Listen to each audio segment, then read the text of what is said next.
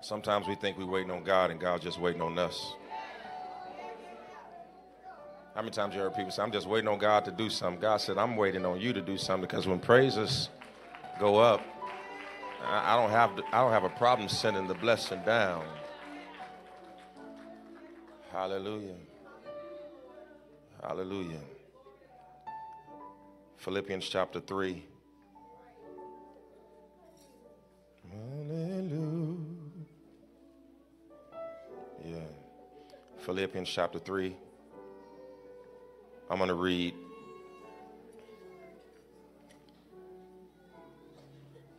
until I feel like stopping. I came in here with the intent of just reading verse 13. Take it back up to verse 1, please. Um, do me a favor, just shout this. I change atmospheres. I don't accept energy in a room that isn't conducive to what I expect. See, if you become an atmosphere changer, you can get into work tomorrow and you can just change it. I mean, you going you work with negative people. They they all around you. But when you're an atmosphere changer, you walk in, there's something that happens when you walk in the room. Somebody shout, I'm a glory carrier. So I'm going to shift this atmosphere. I'm going to go back up to verse 1. I'm going to read a few of those and see how you react, and then I'll figure out what I'm going to read next. Philippians chapter 3, verse number 1. The Bible says, Finally, my brethren, rejoice in the Lord. That ought to be enough right there. Tyrone, it is no accident that the Lord gave me the sermon that He gave me for this place today, because I promise you that if we practice what this sermon teaches today, we could come back here in two weeks and the atmosphere would be different. You, you'll see what I'm talking about. Finally, not eventually, everybody say finally. my brother, my sister, whoever you are, rejoice in the Lord. To write the same things to you, to me indeed, is not grievous, but for you it is safe. Beware, listen, beware of the dogs. And beware of the evil workers. Listen, beware of concision. For verse 3 For we are the circumcision which worship God in spirit and rejoice in Jesus Christ, have, have no confidence in the flesh. Y'all got that? So he says, Beware of what? Dogs, beware of evil workers. Now, you have to understand that before you get down to the verse we always, always quote, which is verse 13. But I count not myself to have apprehended. But this one thing I do, forgetting those things which are behind me, and I reach forth unto those things which are before me I press towards the mark. Somebody say, press it. I press toward the mark for what? The prize of the high calling of God in Christ Jesus. I want to use for a subject today, those of you all who are watching online, those of you in the room, let's just talk on this subject arrested development. Let's talk about arrested development. You may be seated in the presence of the Lord, arrested development. Can, can, I, can I get you to agree that the one thing that all of us in this room and those of us who are online, can I get you to agree that there is one thing that we all can do, and that is to improve? Right? Is that, is, is that a fair assessment? That all of us can improve? Um, uh, in spite of um, our economic power, in spite of our skin color, in spite of our background, uh, in spite of our church history. We want to all be millionaires. We want to all live in mansions. We want to all drive uh, fancy cars. We want to all fly in private planes. Some of us probably uh, haven't even been in first class, and that's okay. But the one thing you can do is improve. You might, you might not be able to go and buy a house cash right now, and if somebody asks you to loan them money, you might not even have it to give it. But, but I know one thing you can do you can improve. and you don't have to improve on what she improves on, and he doesn't have to improve on what he improves upon. But the thing that you do, you can do better. Anybody just believe, just say, I can do better. I can do better. You can improve. And, it, and one of the things I teach our staff, it's not a huge leap uh, that God is looking for. He, he's looking for incremental leaps. So, so one of the things I teach them is just to, to improve 1%. Because sometimes it can be overwhelming to, to go from where you are to where you want to be in such a short amount of time. So you, you take it into bite sized uh, increments and just say, you know what, I'm just going to get a little better today. I'm just going to get a little better. Everybody won't be famous.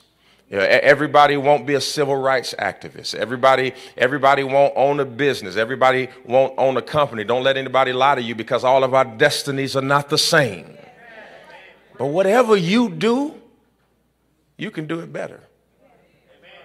Whatever you do, whatever you do, you can do it just a little bit better. So, so the problem then is not improvement.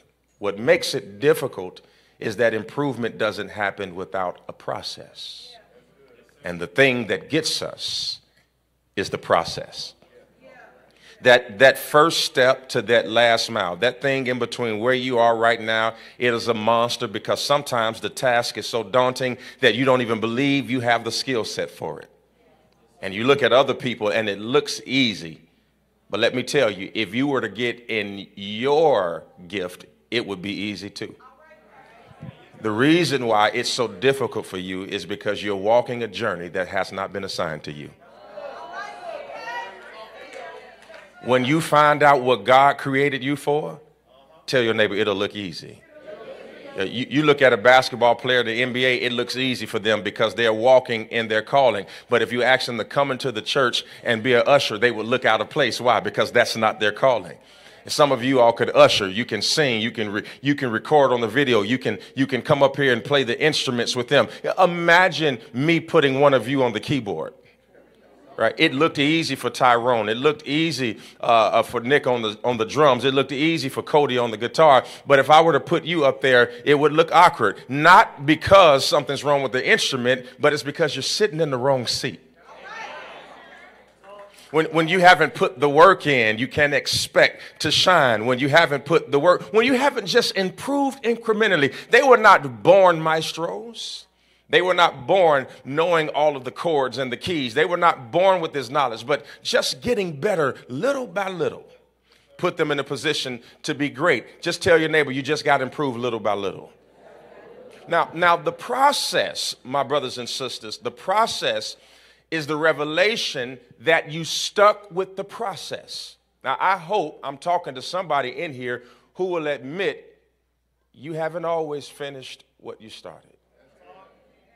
Anybody got any half-read books on a nightstand? Any, anybody got a list of the next 20 things you're going to accomplish that you stopped checking off four years ago? Anybody got this grand idea that's still sitting in your head because it takes work to get up and make it happen? Why? It is not the potential that's the problem. It is the process. And the process, when you endure it, it is the revelation that you stuck with it even when you did not feel like it. I need somebody to help me in here today. Now, if we're honest, if we're honest, all of us fight the process. Anybody ever said, you know what, I'm going to the gym, this is going to be my year. You got an outfit in the closet right now, your whole goal is to be able to get back in it. But the problem is, thinking about working out doesn't shed a pound. You got to get up, get out of the bed. If, if you got a, um, a facility in your building or at your apartment complex, you got to get dressed and walk down to it. If you got a gym membership, you got to get in the car and you got to go through traffic. It's a process. You got to go every day. And then there's another process on top of that. The diet has to match the work ethic. Are you listening to me? and and then and you got all of these things. I was I got an email because you know the the doggone internet. Anytime you Google something, it's like they spying on your brain. Everything start popping up. and, and I start Googling stuff about working out, and then all of a sudden, when I'm on the dictionary online and when I'm on Wikipedia, all of these ads keep coming because they understand that whatever I type in, I'm interested in. Y'all gonna get this in a minute. You see, what you're showing God, whatever you're thinking about, you're showing God what your interests are. And your energies go towards the things that you are interested in. And by the time you finish putting your energy into the things you're interested in, you have no energy left for the things that are interested in you. Everybody say it's a process. Oh, I'm, a, I'm a, this going to be good. I can tell right now. It's a process. The writer of this text that we're reading right now, he says, listen, he is no stranger to the policy of process. His name is Paul. Paul, ladies and gentlemen, this is the guy who wrote Philippians. This is the guy that wrote Romans. This was the guy that was in the Roman jail. You remember in Acts chapter 16 at midnight, Paul and Silas. This is the guy, he wrote, he wrote half of the New Testament. And, and, and listen, he, before he was a Christian, was a murderer. I just want you to know, I just want you to think about this because some people don't like Christians that used to be something else. Yeah, they, they, don't, they don't like preachers that used to be something else. They don't like musicians that used to be something else. But before somebody can judge you, just look at them and say, You used to be something too. Because they, they, they judging you right now and they looking at you like, like they always been holy. But just look at them and say, You ain't got to tell me. I know you used to be something. And, and if they got a strange look on their face, tell them you ain't used to be nothing. You still something. I know, I know you don't want to say nothing. You ain't even used to be it. You still it. Just look down your row because you got a whole lot of fake Christians that act like they ain't never done nothing. They want to come, oh, you've been mighty good. Yeah, but you've been mighty bad. Come on.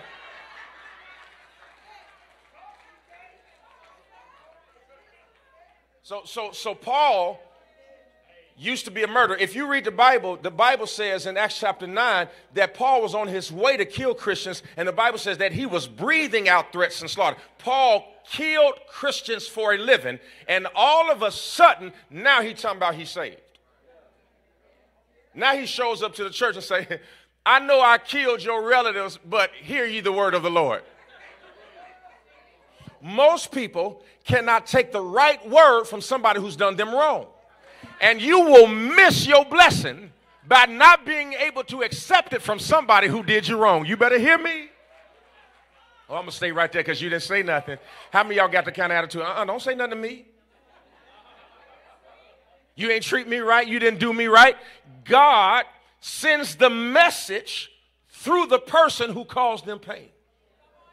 What do you do when the person who has the word for your life in their mouth, somebody you don't want to hear from? I will. What do you do? What do you do when it is the process and the pain, the thing that you don't want that gives you the results you desire? I promise you, your results is in the routine that you can't stand. If God didn't put the results in the routine that you couldn't stand, everybody would have results. So he smuggles the results in the thing nobody wants. So only the people who endure the process will enjoy the benefits. And when you look at somebody who's better than you, it is not because they've been more gifted than you, it's because they endured the process. Are you, are you listening to me? Literally, Paul was arrested, watch this, for preaching. He never got in trouble when he was murdering people. Go read it. He never served one day of jail time for murder, but he spent over five years in prison for preaching. See, this is this is amazing because I'd have been like Paul. I'd have been like, you know what? I should have stayed out there. But but people don't understand that running the church don't get you out of trouble. No, sometimes running to God will get you in trouble. Sometimes running to God will put the pressure on you. Paul never served a term for murder, and now he is preaching and he is in prison. Now it's about to make sense. And the Bible lets us know through history and study that the book of Philippians was written while Paul was in prison. He didn't write it when he was at home, he wrote it when he was in prison. He didn't learn to press toward the mark when everything was going well. he learned to press toward the mark when everything was going bad. It was development that happened while he was arrested. It's about to make sense. It's, it's arrested development because some people think that, that they learn when they're free. No, you don't learn until you're arrested. You, you don't learn when it's going good you take that for granted. You don't learn until you got shackles around your ankles. You don't learn until you got bills you can't pay. You don't learn until you got friends you thought you could trust that turned their back on you. You don't learn until you have people praying on you and now you're just trying to pray to get out of it. You don't learn until the job moves overseas. You don't learn until you got tears streaming down your eyes. You don't learn when everything is well. You learn when death is all around you. You learn how to pray when you need a miracle and you ain't got no money.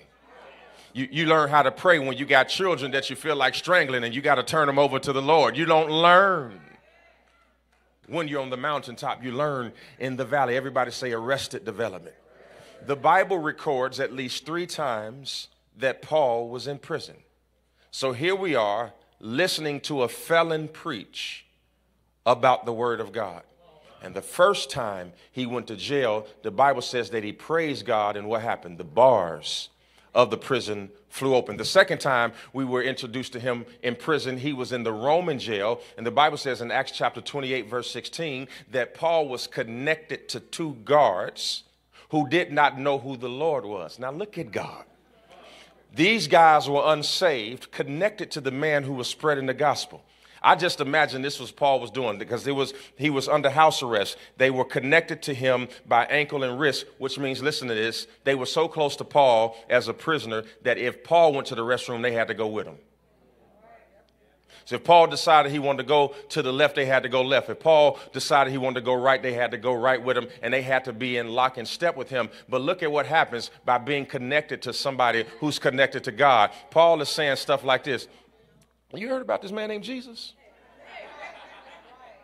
And the guard says, You know, I don't know who Jesus is. He says, Listen, you, don't, you can do whatever you want. This happened while he was in the Roman jail, which is why we get Romans 10 and 9. Listen, if you just confess with your mouth the Lord Jesus and believe in your heart that God has raised his son from the dead, I'm telling you guys, you'll be saved. The men say, You don't know what you're talking about. The men get off uh, from the second shift and they go home and they tell their wife, Man, I had this strange conversation with this dude in jail today. He talking about some confess with your mouth the Lord Jesus and believe in your heart that if you're raised from the dead, thou shalt be saved. And the wife says, all right, whatever. She does it, then something happens to her. And then she goes to put the children at night and say, baby, y'all pray for your daddy because he up here talking about if you confess with your mouth the Lord Jesus and believe in your heart that, and that's how the gospel got spread the gospel got spread because Paul was put in a situation where people didn't know God and he was able to share God under arrest. You're not hearing me. What I'm trying to tell you is that when you are arrested in life, it ain't because God is trying to punish you,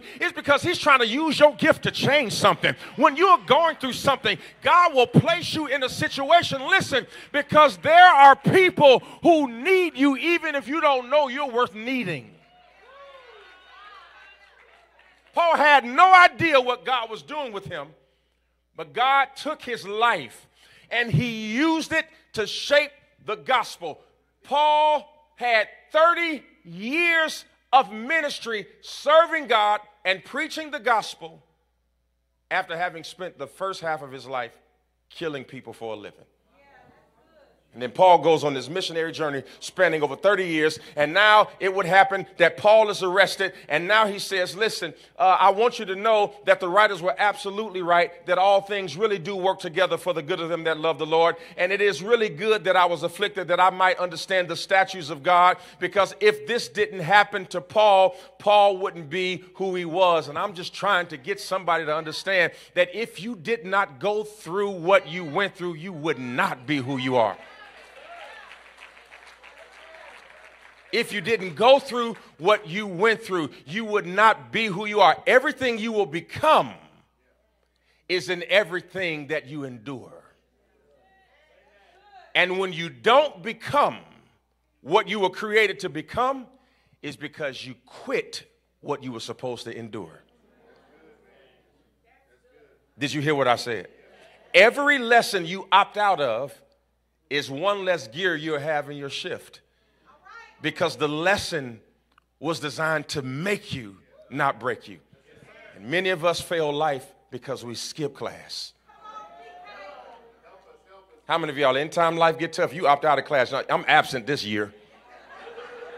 I don't want this trouble. I don't want this heartache. I don't want this pain. And you're missing the blessing that God has for your life. Now, let me get to the sermon because I want you to understand that Paul had to go through all of this. And now the church had or has, listen, a history of believing that Christianity was or is measured by people who understand the ritualisms and ceremonies of church. There are churches all up and down Highway 6, up and down I 10, all over this city, that if you don't go in dressed a certain way, if you don't go into the church with a, the church that I grew up in, women couldn't wear pants. How many y'all grew up in churches like that? The church that I grew up in, that if you ain't had no stockings on, they thought you was working on the corner. Y'all ain't listening to me. I, I literally remember my mama going to the to the to the mar- where they had the y'all remember the Frooties and, and the Charleston Chews. If you ain't old enough to know about that, I can't even preach to you. See, this young y'all don't know nothing about Skittles. I'm talking about real candy. We was it was a candy store right across. My mama went and bought stockings before church. And let me tell you something. When they were run, she would put some some some nail polish on it. Uh huh. I knew you been to church with me. I knew you had gone because you put nail polish on to keep it from running. Now, now the cheap ones came in this plastic square with a cardboard in the middle, but they was expensive when they came in this cup. You know, cause them came from J.C. Penney's. How many y'all? Okay, I knew y'all went to church. I knew it. The cheap ones were like nine ninety nine cent, but the good ones they was one ninety nine.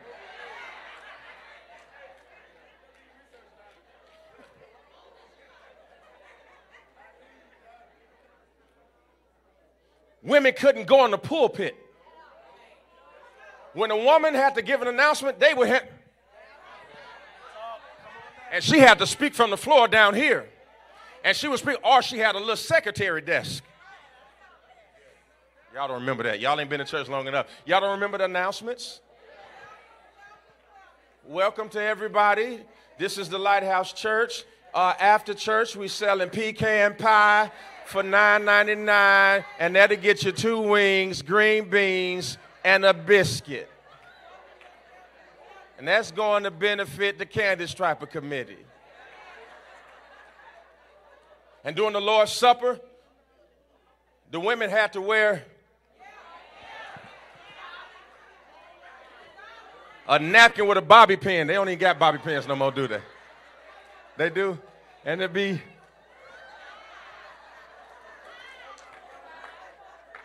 There was a table right here.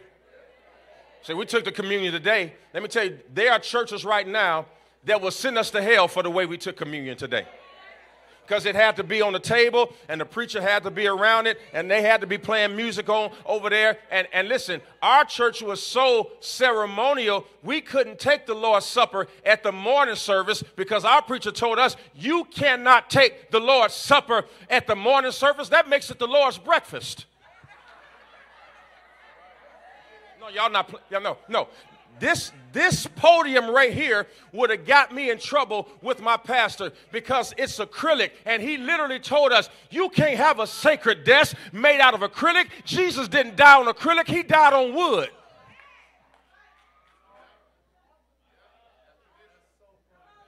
And that determined or constituted whether or not you were at a real church. Meanwhile, while we had all of these ceremonies and all of these rules, people were walking right out of the back door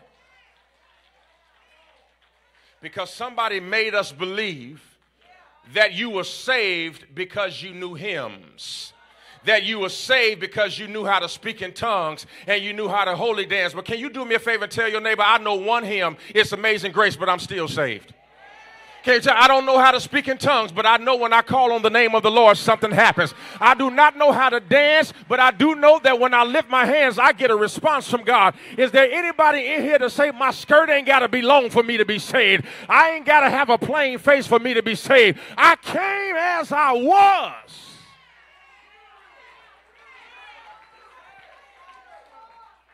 I'm about to, I'm about to get on y'all nerve in a minute.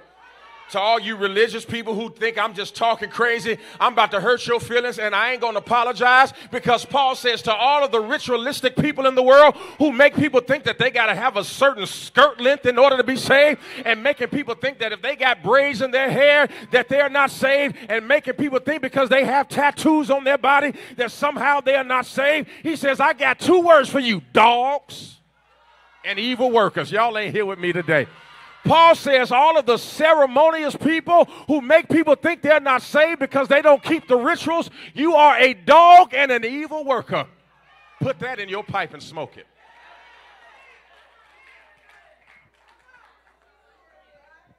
Paul said, I got rough language. I got rough language. For everybody who makes you feel that you got to put your finger up you causing more commotion and distraction by sitting up here walking. Just get up and go. They would have shut the church down if you walked across the altar. Or, or somehow you were disrespecting God because the church was praying when you showed up and you got to stay outside until we finish praying as if God can't hear when you walk. And we got all this stuff we do in the church now that we think is systematic. It ain't nothing but tradition.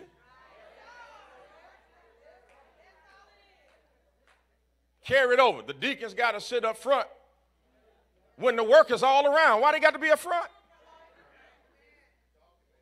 When we got all this stuff going on in the church, nobody knows what to do. And then, and then when people want to get connected to it, we got 12 rules they, they got to follow, not recognizing that when Jesus died on the cross, he put an end to the law with the fulfillment of the blood of Jesus Christ, saying that I have now grafted the church in from the law into what's called the grace of Jesus Christ.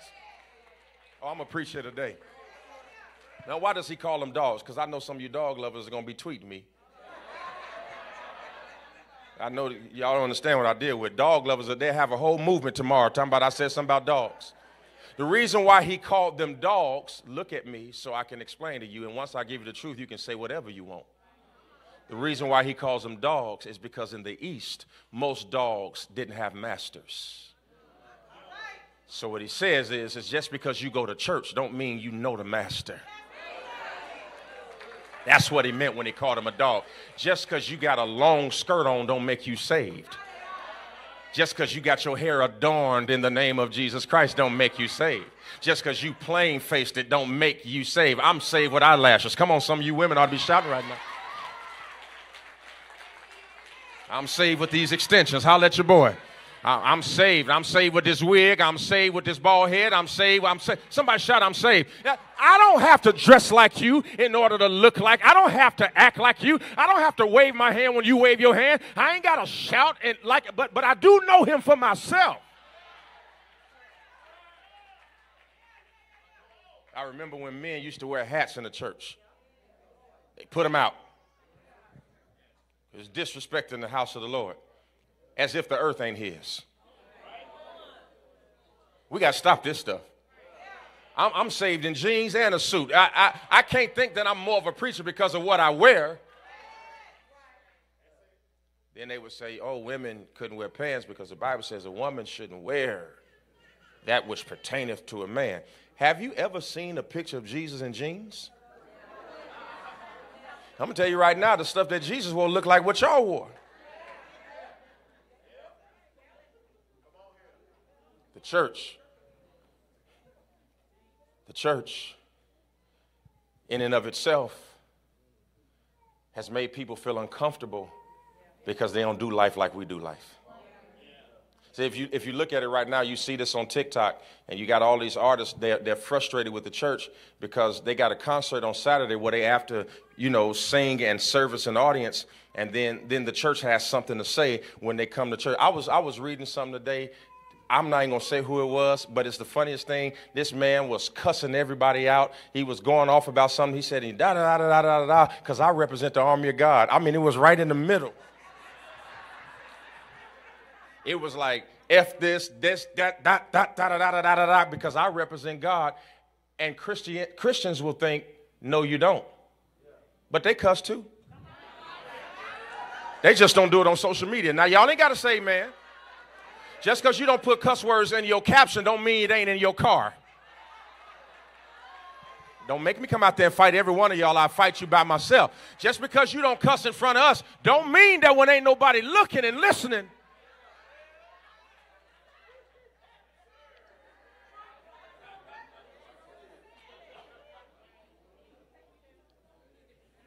Tell them I'm saved and I got a TikTok. Tell them I'm. so the church judges everybody for being unrighteous, while those who do the judging are unrighteous themselves. And if it ain't one thing that get on my nerve, self-righteous people that just get in a certain environment and become a certain person and then leave the environment and be worse than the people they judged. Jesus meets a woman at the well. You remember that? And he goes up to her, he says, uh, What's up, girl? And, and she said, What up, dude? And, and they start talking. And Jesus says, uh, You know, I, I know you. and she's like, What you talking about? He, he, Jesus said, Well, let's just go on to get the stuff out so I can help you. You, you done been married five times. You done had five husbands. Oh, and the dude you living right with right now, you ain't even married to him, so I know you shacking. So let's just get, get, get it on out there. And, and so church people can't follow people like that. But here Jesus is talking to this very woman. Now, what happens is, is what most religious people do when they get uncomfortable, they start changing the subject. She says, uh, Jews and Samaritans ain't supposed to be talking. She changes the subject and she starts talking about religion because when people can't live it, they talk about religion. So she goes to the religion, and, and Jesus says, I ain't here to talk about all of that. I'm, I'm actually here to let you know that I'm not going to judge you like all of the other people have. I know what you've done, I know what you're doing, and you can still be saved. Are y'all not here with me today? God Himself was letting us know that we are not determined to be Christians by how and where we worship. We are not Christians because we know 10 or 15 hymns and all four stanzas. We're not Christians because of the length of our skirts or how many buttons we have on our suit. We're not Christians because how we dress. We're not Christians because of how we look. We're Christians because of who we are on the inside. And Jesus Christ dies on the cross. Here it is for those of y'all who are wondering what this has to do with anything in our series, Don't Turn Back, he gets on the cross because now the Jewish religion is trying to turn the church back to how it used to operate under the law. This is why Paul says, um, This circumcision stuff y'all got going on, let's talk about it. Because remember in the Old Testament, circumcision was a sign of the covenant with Abraham. And the Bible says that God went to Abraham at 99 years old and told him, I want you to be circumcised, and it will be a covenant between you and I, or a sign of the covenant. And so now, watch this, listen to me. After he gets circumcised, what happens? It's the cutting away of the flesh. Now, finally, him and Sarah give birth to a son named Isaac, who was circumcised on the eighth day go to the New Testament because the Bible says that Jesus Christ, Isaac is a type of Christ, because Jesus Christ was born of Mary. And what day was he circumcised on? On the eighth day. You better hear what I'm telling you. Eight is the number of new beginnings. So what happens is, is now on the eighth day, they are circumcised because God says, I am no longer going to have you under the law. I got a new law called grace which is why Jesus is now circumcised on the eighth day because he represents that new law. It's called grace. And watch this. Now, if I am saved by the blood of Jesus Christ, then I was saved before Jesus got to Calvary because if I'm saved by the blood, his first time bleeding was not when he was beat on the cross. His first time bleeding was on the eighth day when he was circumcised. So if I am saved by the blood of Jesus Christ, then I was saved before he got to Calvary. I'm trying to tell somebody in here today that you were saved before you came to church. You were saved before you found out how to speak in tongues. Before the foundation of the world, God was already the lamb slain, and he had already justified, sanctified. Oh my God. Let me, let me explain what that means then, since, since you didn't respond to it. Just, just understand that I am justified by God. Justification is the process by which God, listen, makes the record in heaven look justification just as if I didn't do it. So, what he does to all the people who are judging you for your sins, what they don't know is God has already justified it. Justification is when God makes himself the judge, the jury, and the prosecuting attorney, and the defense attorney. So I'm going to take Quentin, for instance. The devil says, Quentin is a sinner. God sits on the judge and says, I'll hear the case. The prosecuting attorney says, Quentin is a sinner and he deserves death, hell, and the grave. Then God comes and defends him and says, But I died on the cross for him. So then, after he argues that he died on the cross for him, then the prosecutor says, But you said the wages of sin is death. But then he says, Yeah, but I also said the gift of God is eternal life. Then he looks at the jury and says, Jury, how do you find him? But because in the jury is the Father, Son, and the Holy Ghost, the jury then says, We find him not guilty. And then the Father steps in the judge box and says, I declare that he is not guilty because before the foundation of the world, I'd already cleared him of his sin. So, what God does to save the Christian is He operates every position where judgment can be given. So, tell your neighbor, I'm saved, not because I'm good, but because He's good. Now, somebody ought to give Him praise right there.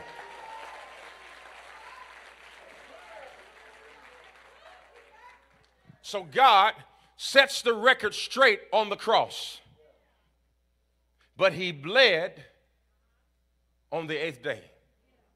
And by the blood of Jesus, you and I are now saved. Now, I'm going to read something to you. For this is the religious people who have all of these rules. This is what he says in 1 Corinthians 7 and 19. He says, Circumcision is nothing, and uncircumcision is nothing. He says, Keeping God's commandments is what matters. People are not better than you because they know the church lingo. No, what separates us from them is keeping God's commandments. You're not, you're not saved because you got to church early and got a front seat. It's somebody in the back that's more saved than you. You know how people think that because the people down front, those the important people, it's somebody in the back that got more Holy Ghost than somebody on the stage. Paul said, You are not a Christian because you got missing skin. He says this, watch this. He says, The way you know a Christian, watch this, is they worship God in spirit. There must not be no Christians in here. Let me say it again. You know a Christian because they worship God in spirit. Now, let me explain it to you. As Jesus converse with the woman at the well, as I said to you. He said to her, You got five husbands, and the man that you're with is not your husband. He says, But watch this. He said, All of that might be true, but the hour is coming. This is what I wanted to say that when real worshipers shall worship the Father in spirit and in truth, he says, The way I will know that I got a believer in the room is that they will give me glory. Watch this. I'm about to help you. Somebody say, Rejoice in the Lord. He says, The way I will know you are a Christian, you will rejoice in the Lord. The Greek word for rejoice, I'm about to shout, watch this, it means to give God glory even if you ain't got a reason. God says, I'm tired of a church that only shout when I give you a car. I'm tired of a church that only shout when you get a house. I'm tired of a church that only shouts because you got a check that you weren't expecting. I'm looking for somebody to give me glory just because I said so. I'm looking for somebody to give me glory even if they don't feel like it. I'm looking for somebody to give. Now, do me a favor. Look around. Look around. You might not be sitting next to a Christian. I just want you to look around because Christians rejoice for no reason.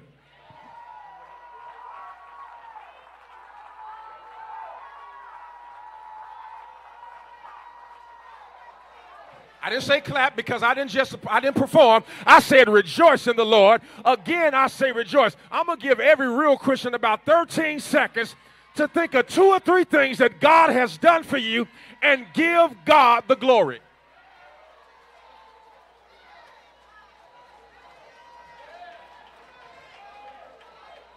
Pastor, I don't feel like I don't feel like standing up. These chairs is they too low. Do you know how low he came to get you? Do you know how far he came to get you? If he came from heaven to earth, you can stand on your feet.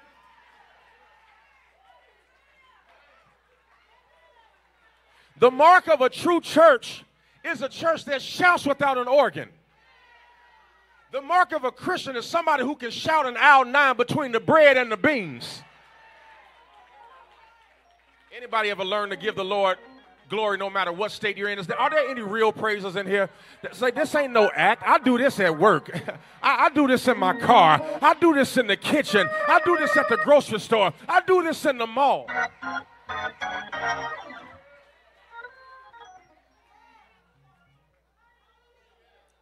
He says, Real Christians rejoice, which means we give them glory for no reason at all. Don't tell. Have y'all ever? I'm not. I'm not being facetious. Anybody have been walking and just? I mean, it'll hit you. I'm, and and you you don't be playing. Now sometimes you be playing, but have you ever just, the right song? Will have you in the in the mirror. You just brushing your teeth, and all of a sudden you start crying, and you have to, oh Lord, because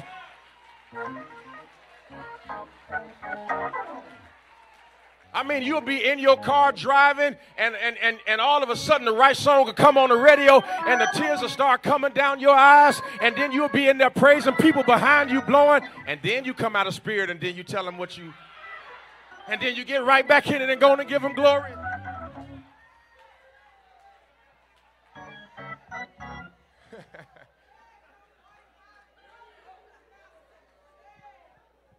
he says, I'm a real Christian not because I understand everything about the church.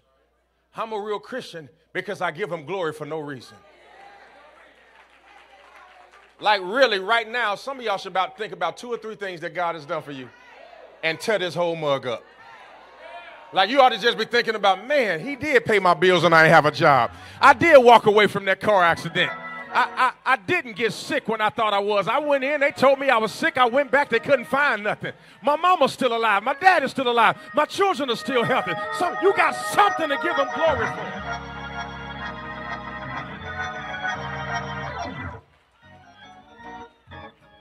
Watch this.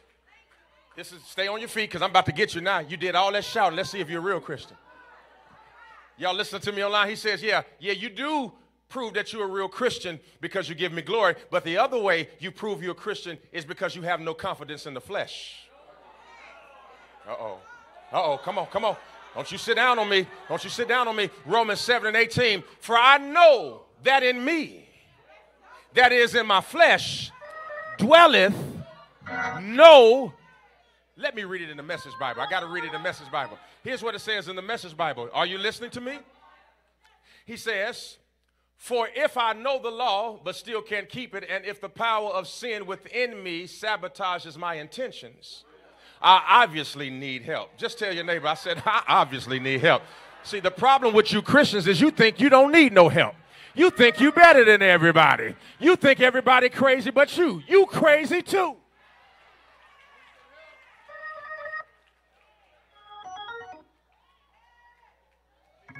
This is what Paul says. He says, I'm, I'm Christian in you. I'm showing you I'm a Christian. He says, I need help. I realize I don't have what it takes. I can will it, but I can't do it. In other words, I can talk to you about what you should do, but when it comes time for me to do what I'm supposed to do, oh, y'all don't want to say nothing. He said, I can will it, but I can't do it. I can tear you down because you didn't do it, but when I don't do it,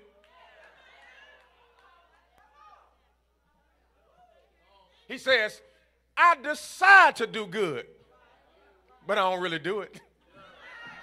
I want you to go read it. I'm not making this up. This is what he says.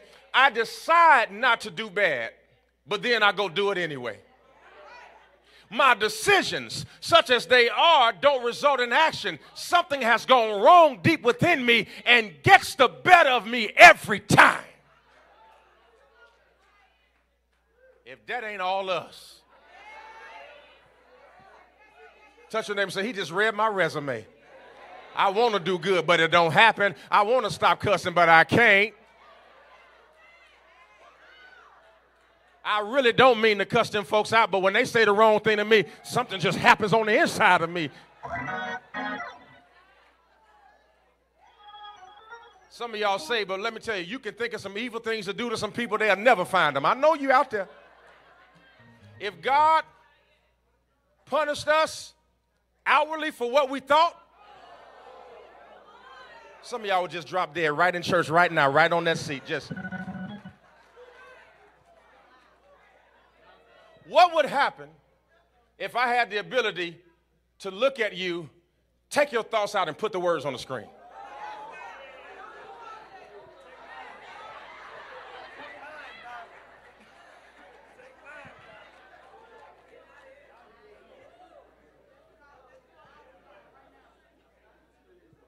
He said, in actuality, real Christians understand they need help.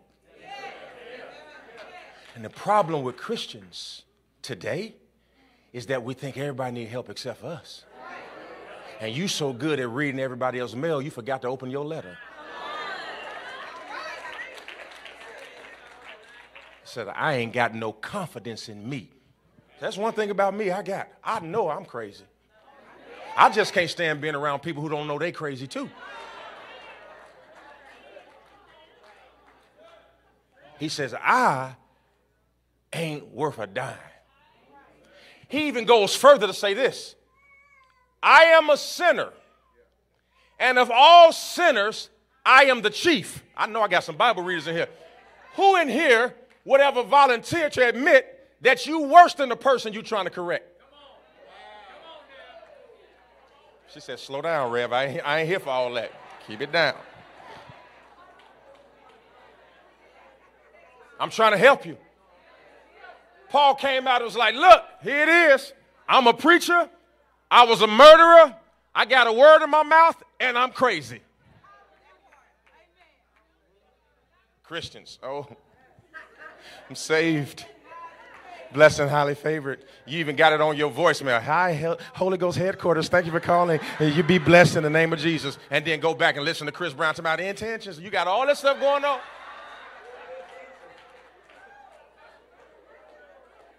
Look all these Christians talking about God did. Did you listen to the rest of the song?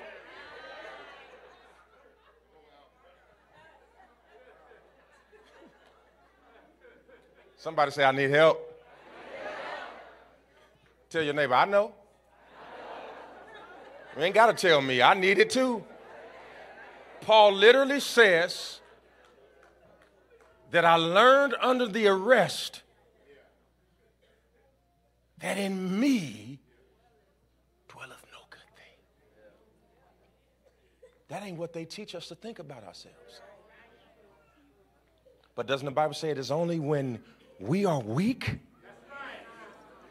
that he's made strong? Is it possible that God hasn't been able to show himself strong in your life yet? It's because you won't show yourself weak? You want to walk around because somebody taught you to be a strong black woman. Somebody taught you to be a strong man. Yes, at work, but not in his presence. Yes, in the world when you're fighting for opportunities, but when you get in the presence of God, you got to lay it all down.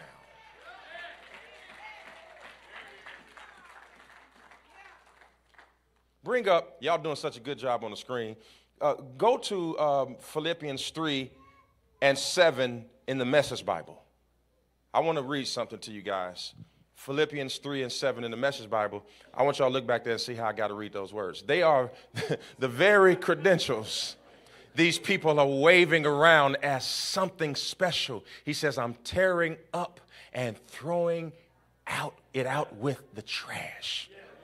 he says, Your good ain't nothing but trash. Along with everything else I used to take credit for. And why? Because of Christ. Yes, all the things I once thought were so important are gone from my life compared to this. So he's basically saying these words. He's saying, All of the stuff that you done built up to make yourself look good, can you just tear it up? throw it in the trash because the person who needs to be impressed ain't impressed. You trying to impress me, but I ain't got a heaven or hell to put you in. You trying to impress them, but they ain't got, they don't pay your bills. They don't put breath in your body. You trying to, you trying to do it for the gram, and you got a God in heaven that's actually saying, show me your weakness. Show me your vulnerability. Stop walking around here so legalistic with your chest out and your head up and your nose in the air, frowning and looking down at people, and show me your vulnerable side. Show me that if it wasn't for me, you wouldn't make it. Stop coming in church looking for somebody to impress you and just come in grateful. So, what they didn't sing the song you like, but did he wake you up this morning? Am I helping anybody? I said, Am I helping anybody? Go to verse 10 that I may know him, the power of his resurrection. This is the doctrine of justification. That I may know him in the power of his re- resurrection. The doctrine of justification refers to God's grace in advance for sin. Did you not know that forgiveness came first sin came second. This is why we don't worship God. We don't worship God because we think we sin and then God forgives. If you get this concept, you'll shout every Sunday. God has already forgiven. In advance of your mother ever meeting your father and you ever being born, you were already forgiven. Ain't that worth worshiping Him for? After justification comes glorification or sanctification. Sanctification is the act of God making something holy that isn't, which means that even though I am not holy, I am holy because he made me holy and set me apart. Remember, God called Noah righteous while he was drunk. Noah had got some grapes and, and got bent and was stumbling. And then God says, Noah was a righteous man. Why? Because sanctification says that God sets me apart from people I am like because I belong to Him. Do me a favor, look at your neighbor and say, I'm like you, but I ain't like you.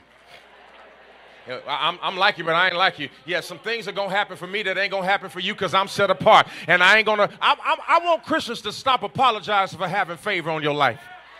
I want you to stop apologizing because you made it through the pandemic without struggling. I want you to stop apologizing because you're healthy even though you didn't always make the right decisions. I've been set apart fist bump three people and say, I got favor on my life. I got favor on my life. I got favor on my life. I got the blessings of the Lord on my life. My children are blessed. My children's children will be blessed for a thousand generations. I need all of the sanctified folk to shout.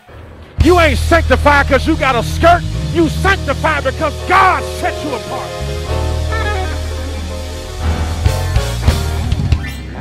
Y'all know how they used to say they sanctified because of how they was dressed. No, sanctified because he set me apart. I ain't sanctified because I'm COGIC. I ain't sanctified because I'm Baptist. I ain't sanctified because I go to an Episcopal church. I'm sanctified by the blood of Jesus.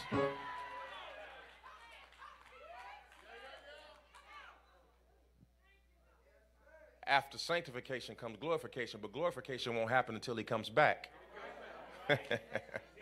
glorification won't happen until he comes back. Do you remember, remember when, when the high priest would make the sacrifice, he had to sprinkle the blood, but he had to also take the blood behind the holies of holies and sprinkle it on the mercy seat.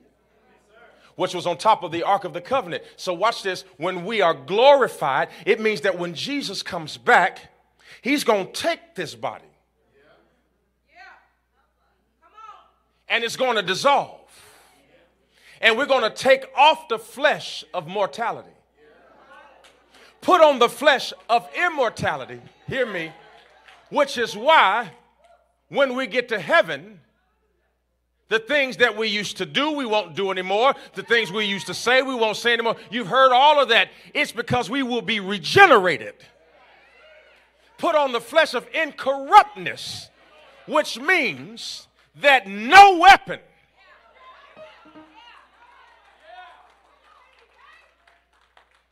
Are y'all listening to me? Do you know that your future is an indestructible future? That one day God is going to change this whole body. No more cancer. No more spots on your lungs. No more threats of brain tumors. You won't have to worry about diabetes. You won't have to worry about high blood pressure. You know why he's taking away all of those worries? Because the only thing he wants you to worry about is worship. And how many of you will admit it's hard to worship when you got worries? So God says, I'm going to take all the worries. You take care of worship. Somebody shall glorify me. And he finished it off by saying, I know I said a lot. I know I called you dogs and evil workers. And I know I told you what to do with your circumcision and how to get there. But then he does the most humble thing that any teacher can do. I count not myself to have apprehended this. In other words, I can preach about things I can't do. And most of us miss our blessing because we expect all of our sayers to be doers. If the person you're going to listen to has to be perfect, then rip your Bible up. Because David was a whore, Paul was a murderer. Solomon, your little Proverbs dude, 700 wives and 300 side chicks. He had a thousand women at the same time. Not a hundred, not 500, a stack.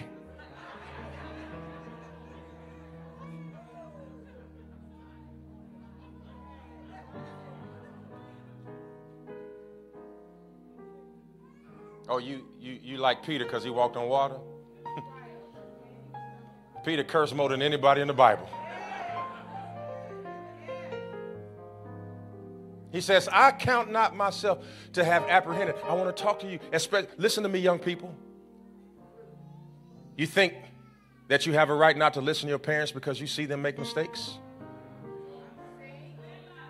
The Bible says, honor your mother and father, that your days may be long. He didn't say honor them if they are correct. He said honor them. Do you know that dishonoring your parents shortens your lifespan?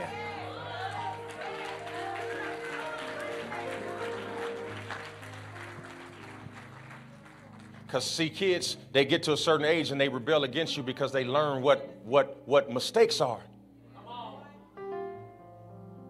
Paul said, I, I didn't teach you because I could do it. I taught you so you could learn from my mistakes.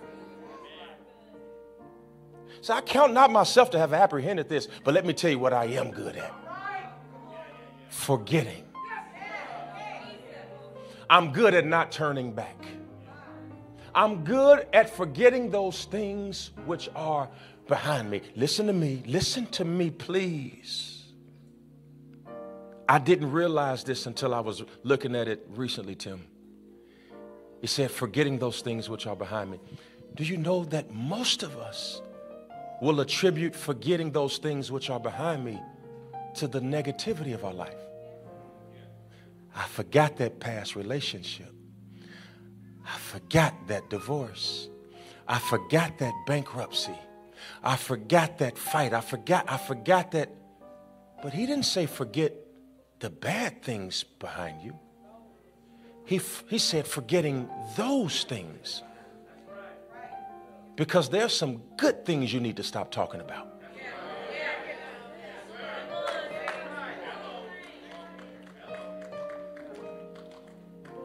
There are some things that actually happened good to you. But if you keep talking about the time you got it right, you won't have the energy to get it right again. So some people think that they don't have to do it right tomorrow because they did it right yesterday. And that they get a pass for the rest of their life because they did something right somewhere. God said, forget it all. Every day is a day of thanksgiving.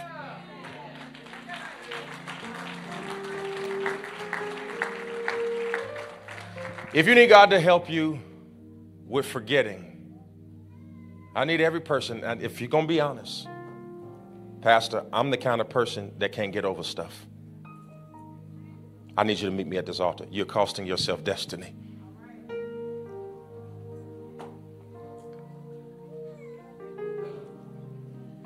Pastor, I, if you hurt me, I, it'd be three years before I can look at you again. Come close. Don't, I don't bite. But I will slay you in the spirit. Pastor, I'm still mad at my sister. She hurt me and I just don't know how to get over it. And all I do in my life is I keep telling her, Well, I'm mad at you because you did this, and I'm mad at you because you did that. I'm mad at you, and you should understand why I'm mad at you because you did this, and you should understand why I'm mad at you. But Paul says, Can you learn to just forget those things behind you? Here's when real deliverance comes when somebody has broken you in half. Here's when real deliverance starts. And you can go to them and say, it's okay because I too have not apprehended. We, most of us get stuck where we were hurt, have no memory of what we did the hurting. And is it possible that what you're receiving now is what you gave out in your previous season?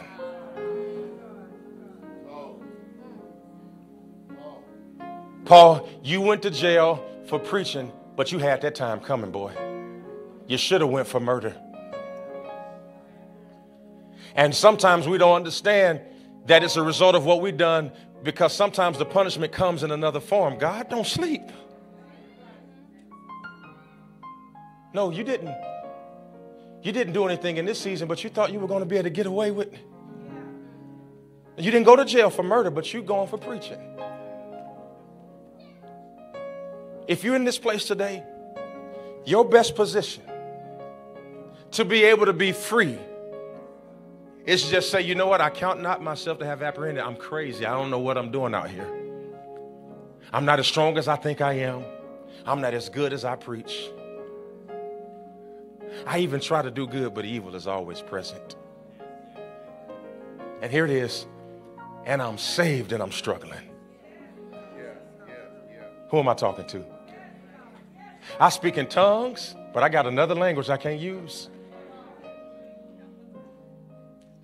I don't just fight in the spirit. You get on my nerve in the flesh, I'll throw these hands. Any fighters at the altar? I'm praying for you too. I'm praying for you. She said, Help us. She really mean help me. I just want you to be honest with me. How many of you are like, I'm trying, but man, they won't let me be great. How many of y'all are the kind of person that like you at this altar right now, but if somebody say the wrong thing to you before you get out of this building, everything I preached out going right out of your head and you going right to the flesh. Raise your hand if I'm talking to you. We're going to break that cycle. Oh, by the way, I'm preaching it. Look at me. I count not myself to have apprehended this. Because if the right person say the right thing to me, I can do the same thing you can do. From the pulpit. With the anointing on my life. That if I get into a situation where I got to fight, I can't wait on you to hit me first. I'm not I'm not strong enough. I don't know what you can do. I just know what I can do. So I just got to get to my skill set first. I can't wait. I ain't learned turn the other cheek yet. I'm praying on it.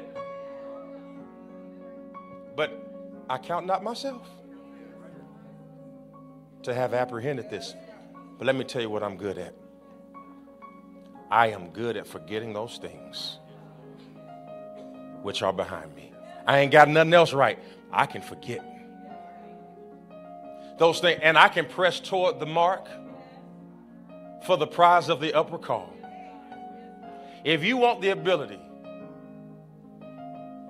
to make sure that the enemy is defeated, because let me tell you, he know exactly who, when, and where to get you. Let me tell you, he know.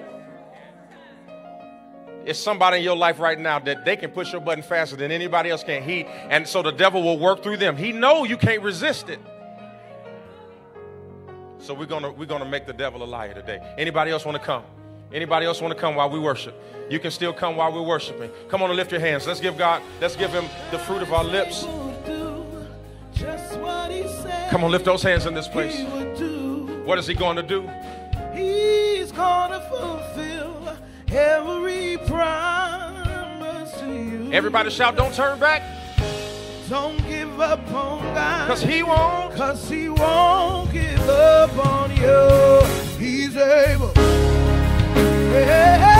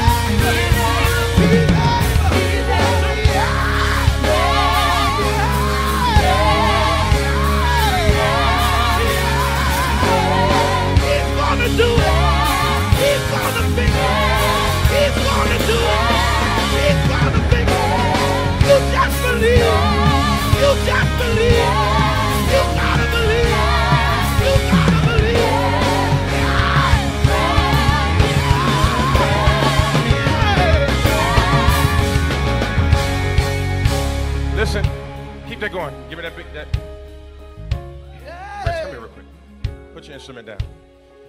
The Lord just showed me this. I don't know if it's true, false, or not. I just heard it in my head. And this ought to, this ought to bring forth a river. The Lord showed me something as you were playing. He told me one or two things is happening. Either you're struggling to forgive somebody, or somebody's struggling to forgive you. And I don't know which one it is, but there's a struggle with forgiveness somewhere in around your camp. Anybody else struggling with forgiveness? Be honest. Is this, is this accurate or not? Okay. My inclination is that somebody's struggling to forgive you, which has turned it into you now shutting yourself out from everybody and everything. And that you walk in a prism that's becoming a prison. You haven't been happy in months. You're contemplating suicide often.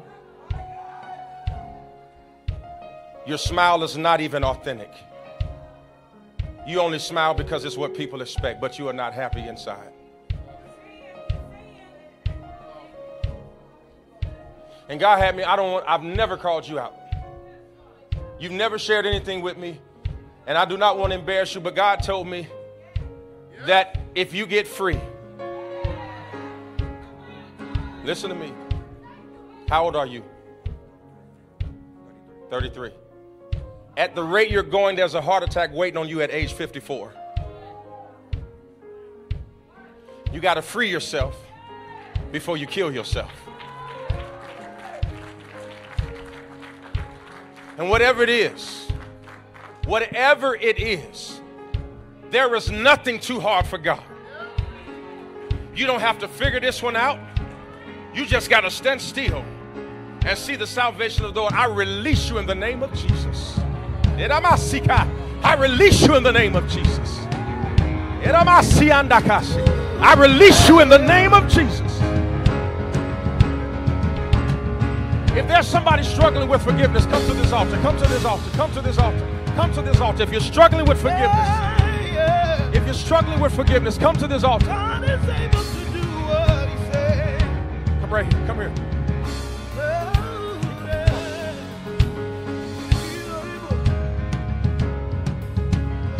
He's able. Yeah, he's able. Ooh,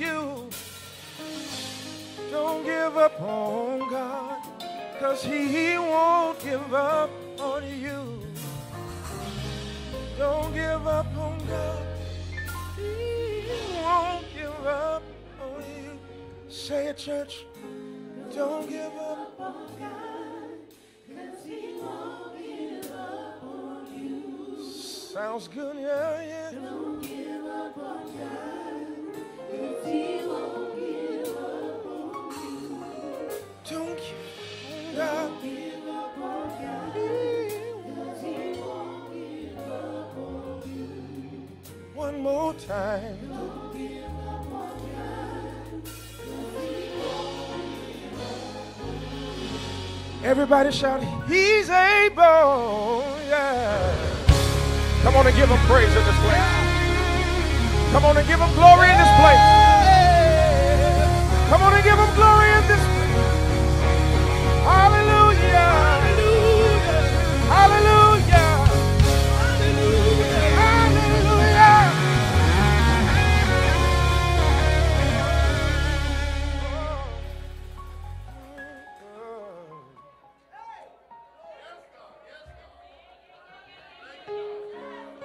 Thank you, Holy Ghost. Thank you, Holy Ghost. Yeah.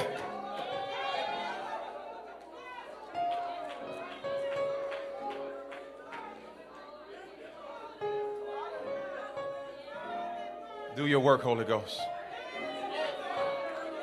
Do your work, Holy Ghost. This is the altar of sacrifice. You will not take it back home with you. It matter, it won't even get to the car with you. It is done, says the Lord of hosts. me this far. I don't believe he's brought me this far. Yes, God. I don't believe he's Hell, yeah.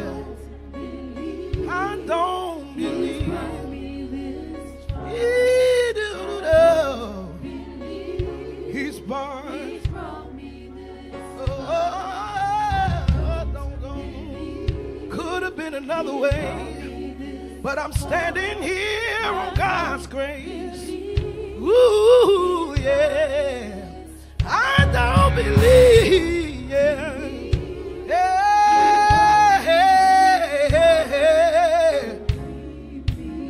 We're going to stay right here in this worship. God is doing something in this worship.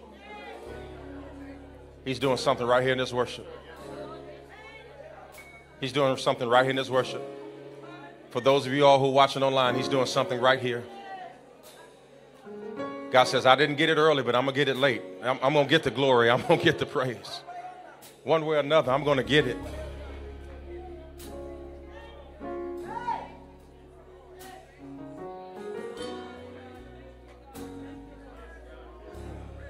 He's still working. He's still working. He's still working. We're going home, but I still see tears flowing. Have your way, God. Have your way. Listen, there may be people here don't don't need this, but you do. Right now, the work of the Holy Spirit is for those of you all who do.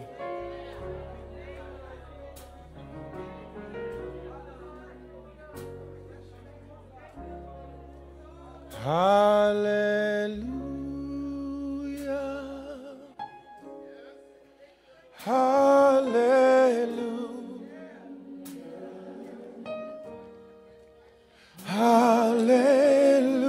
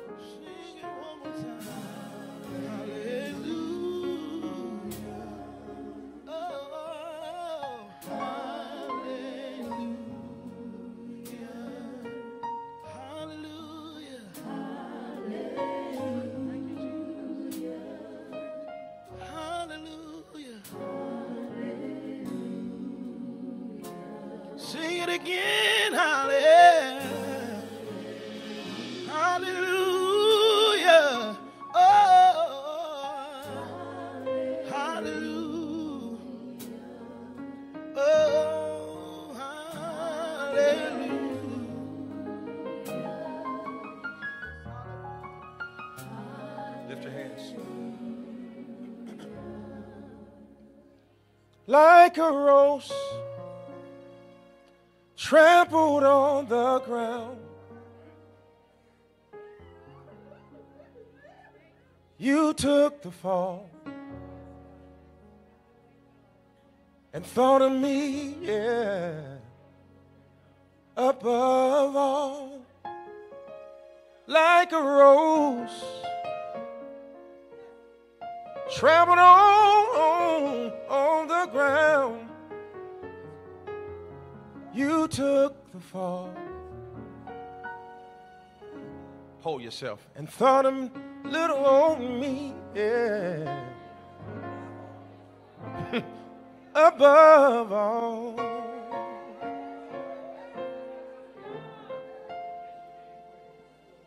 You took the fall. And out of all of the 8 billion people in the world, and thought of me. Above all. Isn't that amazing? That he loves you that much. That he thought of you above all. That's enough.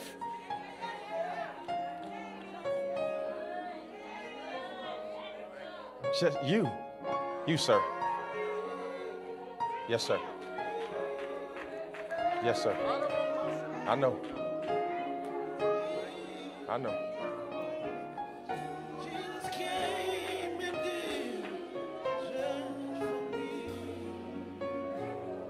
Just for me.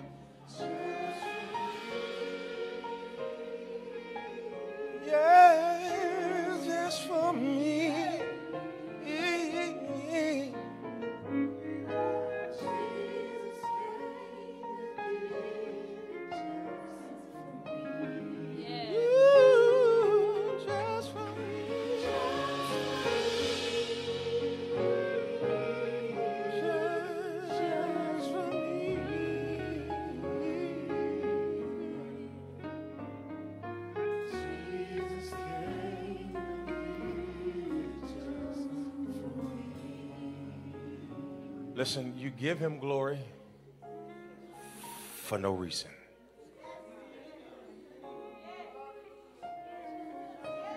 Just because he's good, sir. Not because I need something, not because I want something. He'll take it for that too, but just because he's good. Come here.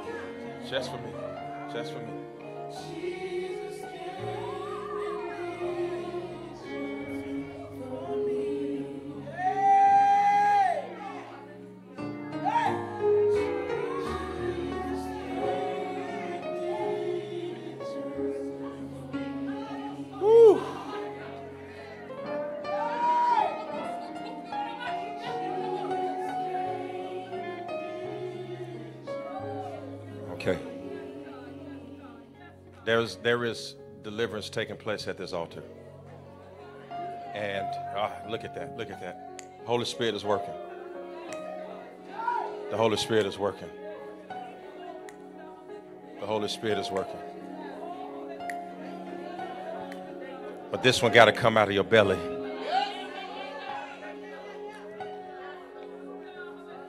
I speak into this atmosphere. Listen, the end of cycles. I hear the Lord saying that. Cycles are ending. I hear the end of a cycle in the atmosphere. The end of a cycle. God just broke it. He just did it for you. He just broke it. Your daughter will not endure it. He just broke it. Your son will not endure it. He just broke it. He just broke it. He just broke it. He just broke it. He just broke it. He just broke it. Just. He just broke it.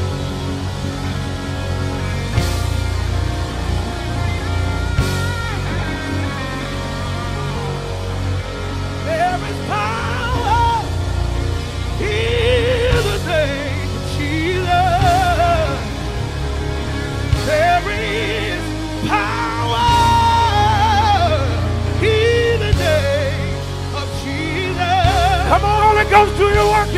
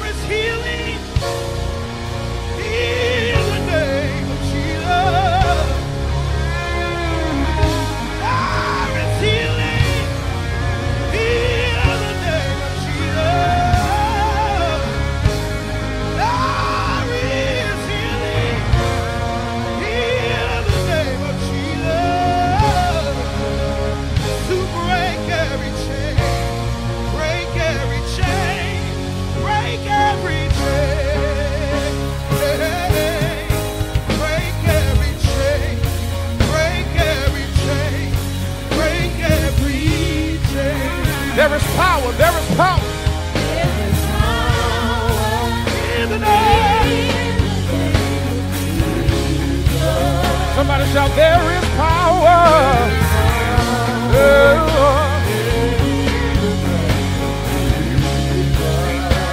There is power in the name. Everybody say the praise. Hey, yeah. There's an army. There's an army.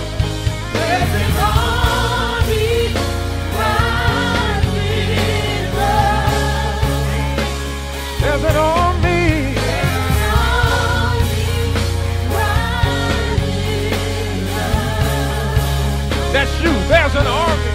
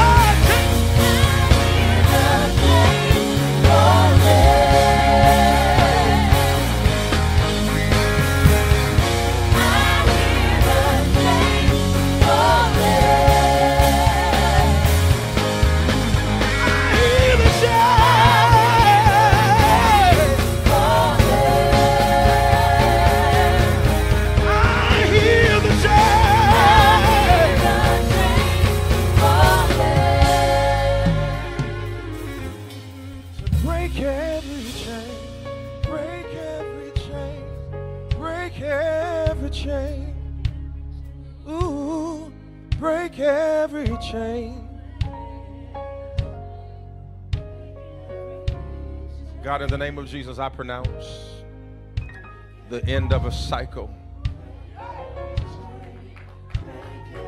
over the people of God in this place and watching online.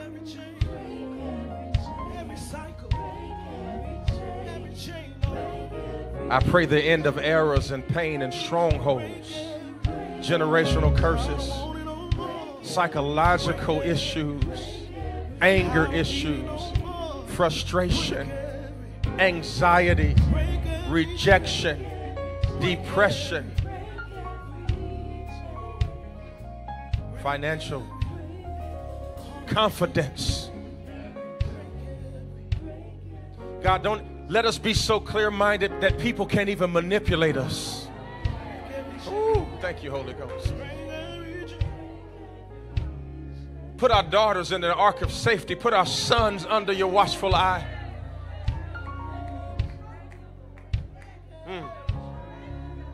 Thank you, Holy Spirit. I'm speaking against teenage pregnancy. Thank you, Holy Ghost. Woo.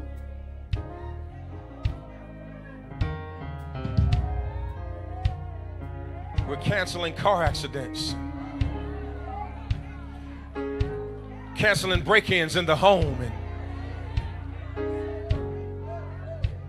and we cancel school shootings. A thousand shall fall at our right hand, 10,000 at our side, but none shall come nigh thee. I decree and declare that you are blessed in your going and in your coming, that you are covered in your waking and in your slumber. Raises on your job, joy for the journey. And God, as we release these seeds today, we pray that this is the beginning of more than enough. That we will never have another day of lack in our life. That you will add to us grace to our account. That we might not only be blessed, but thank you, Holy Ghost, that we would be a blessing. God, make me a giver so that I can help somebody. I speak against all need in your life. Only seed. In Jesus' name we pray. Somebody say, man. Listen, I want you to go get your gifts right now. I want you to go get your gifts. I want you to get ready to give. If you already have it, just stay at the altar with me. We're going to leave from here. But I want everybody who needs to go back to your seat, get your offering, your tithes and offering. If you're watching online, till I, I want to run. I wanna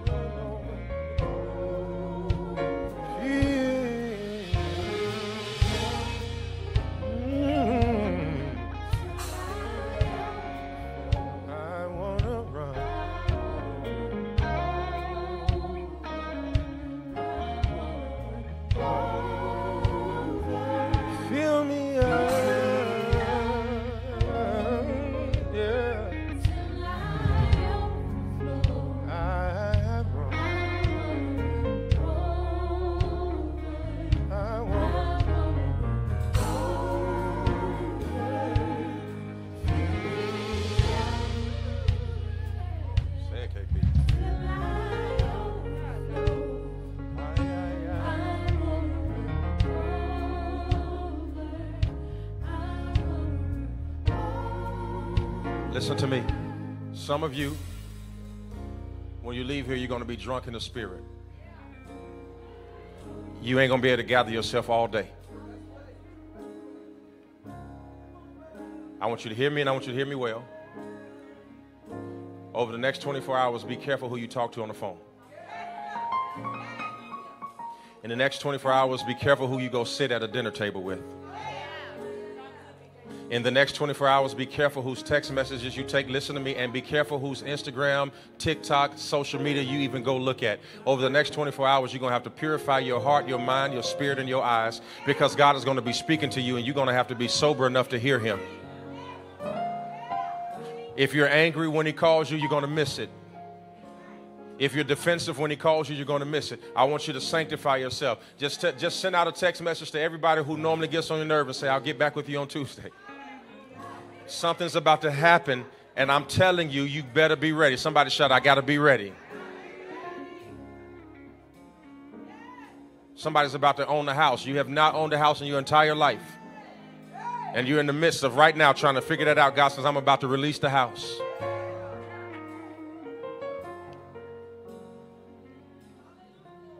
I don't even know who I'm talking to. Maybe somebody online, but God told me to tell you you're about to open some kind of practice. Somebody's trying to open a practice. You're a therapist or something.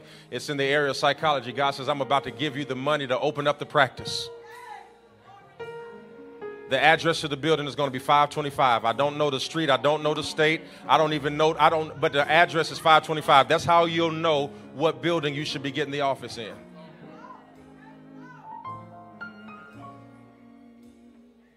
Not 524, not 523. If it's anything other than that, walk away. The address is 525.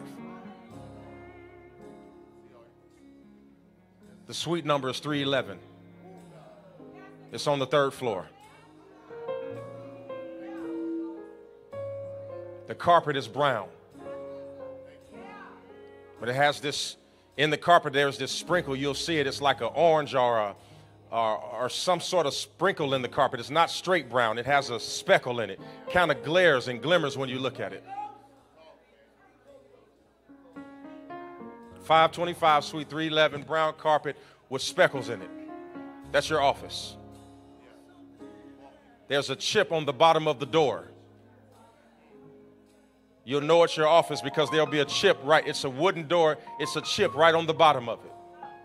That's your office. You're going to make millions of dollars through that room.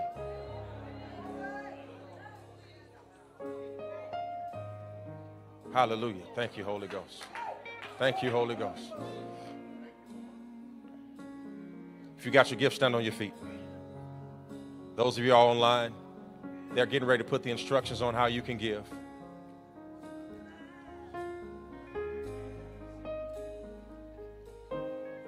Now, this gift right here, this one that you've been praying over, that you've been fasting over, somebody shout, it's about to break it. Listen, the kind of money that's getting ready to come in your direction, you've never seen before. Here's the word of the Lord. Listen to me. When you get it, do not change your living situation. God says, stay right where you are. Stay right where you are. But the money's getting ready to come in, but you can't leave yet. God says, I'm trying to discipline your habits before I move you up. It's coming. I'm telling you, it's coming. Somebody shout, It's coming. It's coming. It's coming. But stay right where you are for another six months. Don't move. When your lease is up, ask them what the month to month is for the next six months. It's going to be about $160 more, whoever I'm talking to. But just stay right where you are.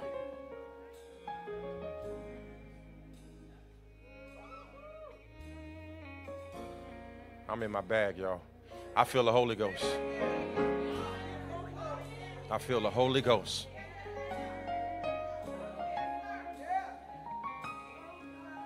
Does the name 100, the number 153, does that mean anything to anybody? If you're online, 153, 153.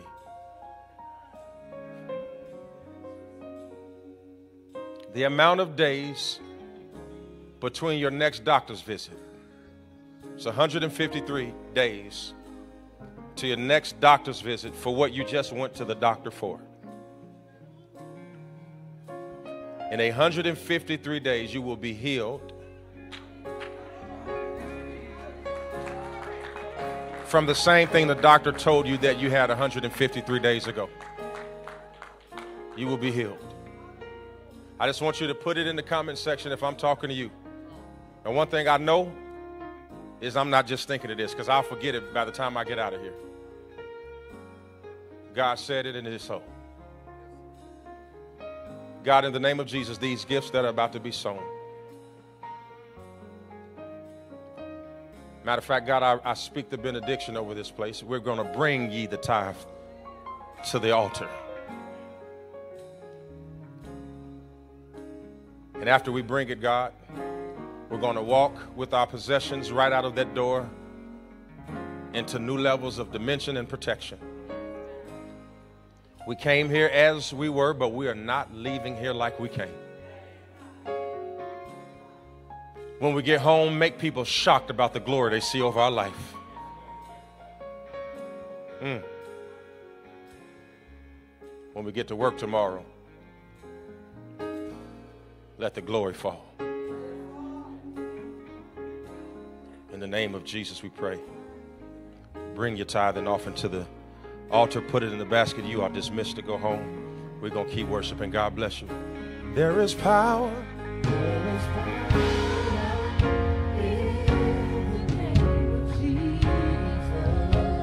There is power.